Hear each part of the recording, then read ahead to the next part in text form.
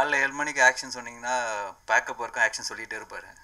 ரொம்ப ஃபாஸ்ட்டான ஒரு energy எனர்ஜெட்டிக்கான worker ரொம்ப சின்சியராக ஏதோ எடுக்கணும்னு எடுக்க மாட்டார். இப்போ ஒரு சீன் கூட நம்ம பார்த்தோம்.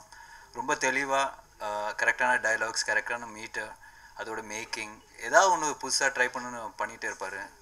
So hats off to sir Dhananjayan sir இந்த படம் பார்த்து நிறைய நல்ல விஷயம் சொன்னார். ஸோ ஐம் ஷுவர் இந்த படம் ஒரு பெரிய சக்ஸஸ் ஆகுன்ற நம்பிக்கை இருக்குது தமன் சாங்ஸ் கண்டிப்பாக இந்த படத்தோட பிஜிஎம் வந்து மிரட்டலாக இருக்கும்.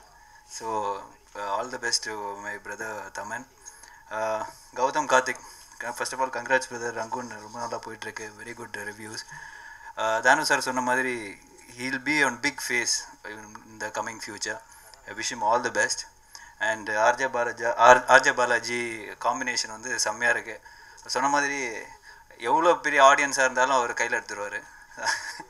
அதே ஆனால் ஆனால் காற்று வெளியீடு படத்தில் மட்டும்தான் அவரை வந்து மணி சார் கண்ட்ரோல் பண்ணியிருக்காரு நினைக்கிறேன்.